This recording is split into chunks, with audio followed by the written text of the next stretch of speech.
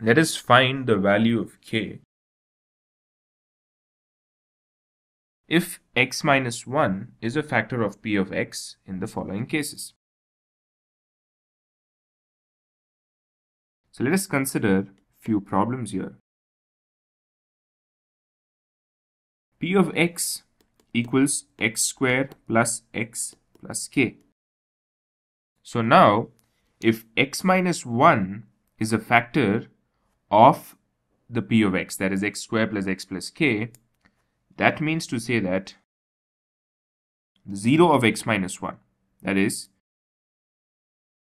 x equals 1 so when we substitute 1 in the place of x that is p of 1 should be equal to 0 so therefore let us equate x square plus x plus k to 0 and substitute the value of 1 that is 1 square plus 1 plus k equals 0. We get 1 square plus 1. 1 square is 1. Therefore, 1 plus 1 is 2. 2 plus k equals 0. k equals 0 minus 2, which is nothing but minus 2. Therefore, the value of k equals minus 2. Let me quickly summarize the whole problem. Now, if x minus 1 is a factor of p of x, x square plus x plus k, then p of the 0 of x minus 1 should be equal to 0. So therefore, we are equating this equation to 0 and at the same time substituting the value of 0 of x minus 1 which is nothing but 1. So by doing that, we can find the value of k which we have. Now let us look at another p of x which is 2x squared plus kx plus root 2. Now, p of 1 should be equal to 0.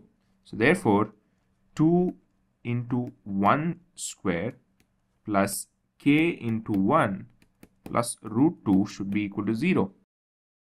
So, from this, we can find the value of k, which is nothing but k equals 0 minus root 2 plus root 2 when it goes to the other side, it becomes minus root 2 and 1 square into 2 is 2 and 2 when it goes to the other side of equal so it becomes minus 2 so we have k equals minus of root 2 plus 2 so the value of k is minus of root 2 plus 2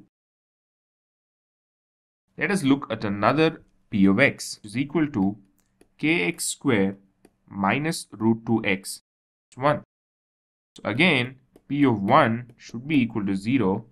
So therefore, kx square minus root 2x plus 1 should also be equal to 0.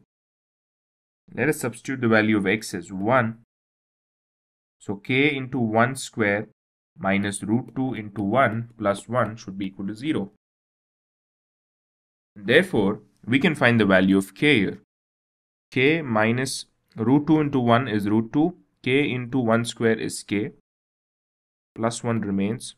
K will be equal to minus 2 when it goes that side it becomes plus root 2 and plus 1 when it goes that side becomes minus 1 so the value of k is root 2 minus 1